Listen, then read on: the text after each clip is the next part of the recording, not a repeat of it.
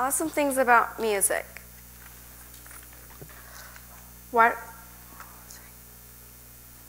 why do we feel so different when we listen to music?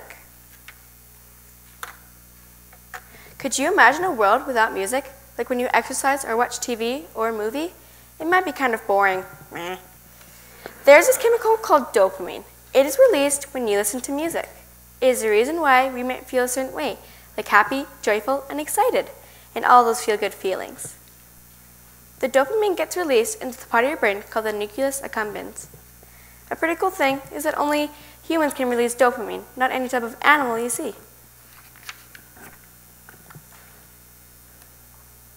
Also, when you listen to music, you might not think about it, but you want to tap or dance along with the beat. Like when you listen to pop music or dance music, pretty much the all kind of music you can think of. That is really cool. And if you have children, let them listen to the music that they like. That is age appropriate because it helps their and your speaking skills by improving the listener's language ability to distinguish language patterns. So if you are studying for a language arts exam, I think listening to classical music is a great idea.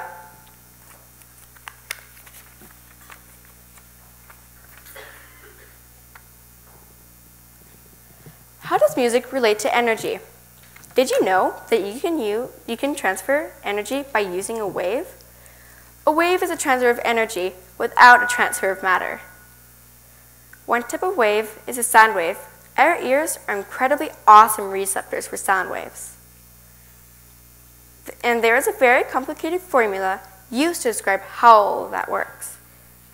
But since I'm not an engineer or a scientist, let's just say that a sound wave is nothing more than a wave caused by vibrations. We can hear music because of sound waves. The vibrations from strings of instruments or from the inside of a speaker sends out the sound wave and it causes the inside of our eardrums to vibrate. We mentally process this vibration as a specific tone. So what is sound energy? Is the energy produced when sound is created.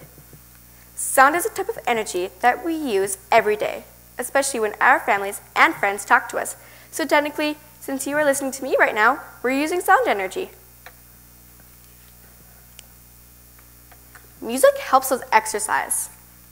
Research shows that listening to music helps people exercise longer and with more intensity. When we listen to music, our brains get distracted and stop us from paying attention to the thoughts of tiredness or feeling like you should stop exercising.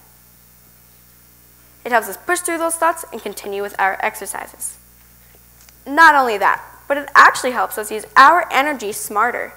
One type of study showed that those who listened to music required 7% less oxygen to do the same workout as the people who were not listening to music.